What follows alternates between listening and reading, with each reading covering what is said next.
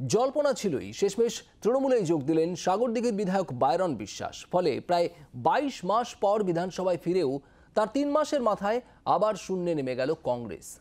সাগরদিঘি হাতছাড়া হওয়ার পর বায়রনকে বিশ্বাসঘাতক বলে তোপ দেখেছে বাম কংগ্রেস শিবির। আর দলবদলের পর বায়রন বলছেন, তিনি তৃণমূলেরই লোক।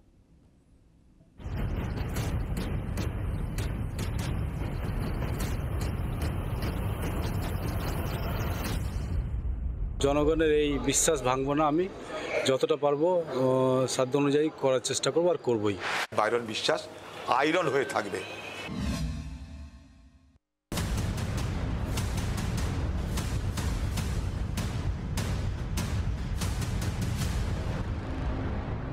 আমরা অত্যন্ত আনন্দিত এবং খুশি যে বাইরন আজকে তৃণমূল কংগ্রেসে যোগ দিয়েছে।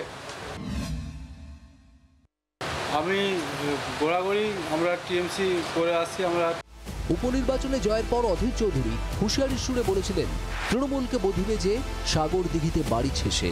সেদিন, যার জয়ের পর প্রদেশ কংগ্রেস সভাপতি উচ্ছ্বাস প্রকাশ করেছিলেন, সেই বায়রন বিশ্বাসী, দল বদলে এখন তৃণমূলে। সোমবার কংগ্রেস ছেড়ে তৃণমূলে যোগ দিলেন সাগর দিঘির বিধায়ক বায়রন বিশ্বাস। এদিন পশ্চিম মেদিনীপুরের ঘাটালে তৃণমূলের সর্বভারতীয় সাধারণ সম্পাদক অভিষেক বন্দ্যোপাধ্যায়ের হাত থেকে পতাকা তুলে নেন তিনি। দলবদলের পরেই নিজের পুরনো দল কংগ্রেসকে নিশানা করেন বায়রন সাগরদ্বীপের জয়ের জন্যও কংগ্রেসকে কৃতিত্ব দিতে অস্বীকার করেন তিনি। গোড়াগড়ি আমরা টিএমসি করে আসছি, আমরা টিএমসি থেকে আমি টিকিট নেওয়ার চেষ্টা করেছিলাম দুর্ভাগ্যবশত টিকিট পেয়ে ওঠেনি বলে আমাকে কংগ্রেস থেকে নিতে হয়েছিল। কিন্তু এতে কংগ্রেসের কোনো অবদান নেই। আর যদি অবদান থাকতো তো দু হাজার একুশ সালের কোনো একটা সিটও কেন জিততে পারিনি? গত সাতাশে ফেব্রুয়ারি সাগরদিঘি বিধানসভা কেন্দ্রে উপনির্বাচন হয়, ফল ঘোষণা হয় দোসরা মার্চ।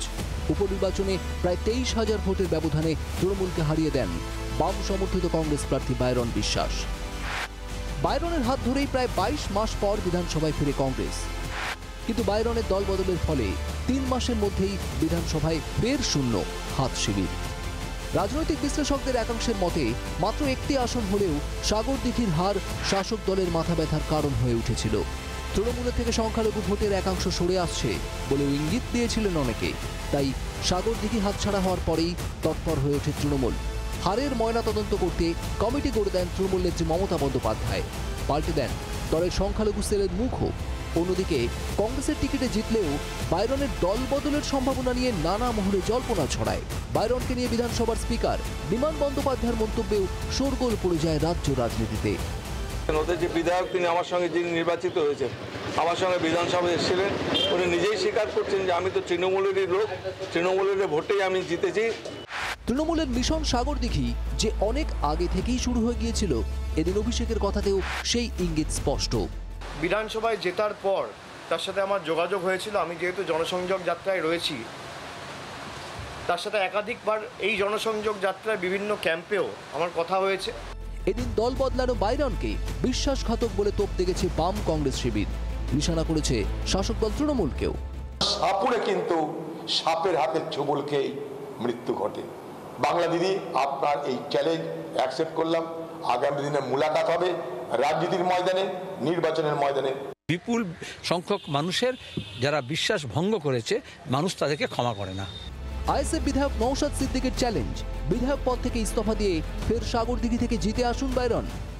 আপনি কংগ্রেসের থেকে দাঁড়িয়েছিলেন সেটাকে রিজাইন দিয়ে তৃণমূল কংগ্রেসের সিম্বল নিয়ে আবার নির্বাচনে দাঁড়িয়ে মানুষের রায় নিয়ে যদি মানুষ আপনাকে রায় দেয় আপনি জিতে বিধানসভার মধ্যে যাবেন। বাইরনের দল বদল শুধু রাজ্য রাজনীতিতে সীমাবদ্ধ থাকবে, নাকি জাতীয় স্তরে বিরোধীদের জোট প্রক্রিয়াতেও এর প্রভাব পড়বে? সাগরদিঘির উলট পুরাণের পর, কংগ্রেস তৃণমূল সমীকরণের দিকে তাকিয়ে শাসক বিরোধী সব পক্ষ। ক্যামেরায় রতনের সঙ্গে প্রবীরের রিপোর্ট, জি চব্বিশ ঘণ্টা। বাংলার আওয়াজ, বাঙালির আবেগ, জি চব্বিশ ঘণ্টা।